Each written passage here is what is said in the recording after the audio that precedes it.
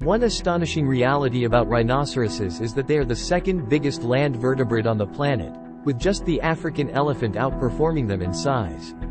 Rhinos can weigh any place somewhere in the range of 1,000 and 3,000 kilograms, 2,200 to 6,600 pounds, contingent upon the species.